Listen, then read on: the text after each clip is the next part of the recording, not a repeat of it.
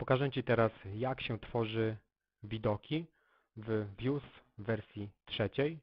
W tym przypadku jest to na Drupalu 7. Dodaję nowy widok.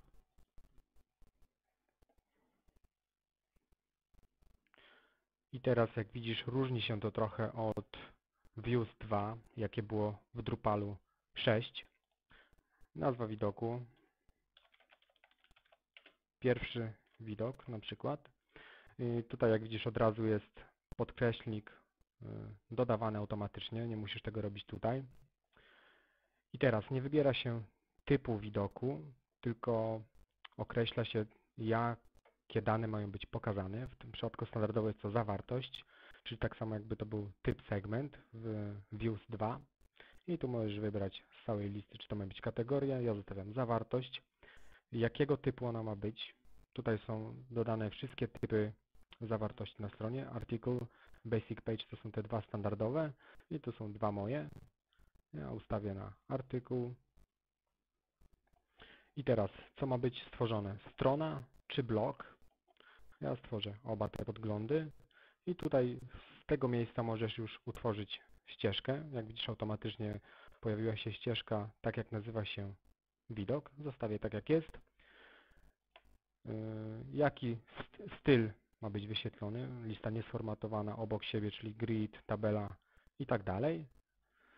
Yy, co ma być pokazane? Czyli zajawka, czyli skrócona wersja, pełna wersja, tytuły z odnośnikami bądź pola. Ja ustawię na pola. OK.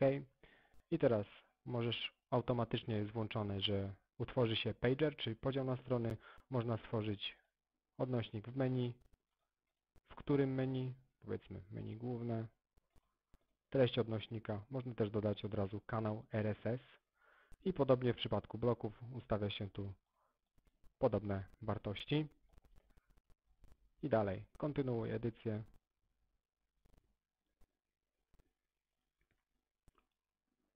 I tutaj masz wszystkie opcje do konfigurowania danego widoku. Jak widzisz format został tak jak był wcześniej wybrany, lista niesformatowana, jest standardowo dodane pole tytułu, filtry do publikacji oraz typ artykuł, kryterium sortowania nualejąco, czyli że najpierw najnowsze będą pokazane, ustawienia strony można ustawiać nagłówek, stopkę, stronicowanie, czyli podział na strony i jest opcja zaawansowana, gdzie możesz uruchamiać filtry kontekstowe, contextual filters.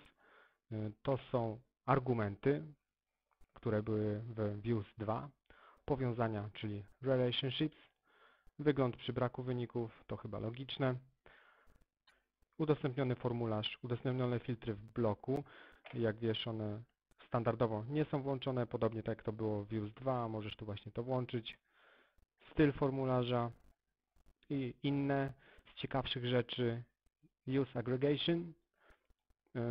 To wprowadza właśnie funkcję count.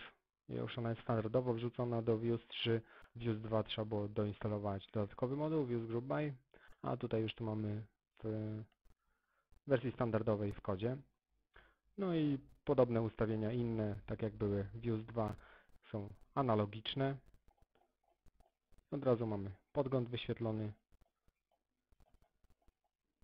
no i to było tyle do wstępu z Views 3.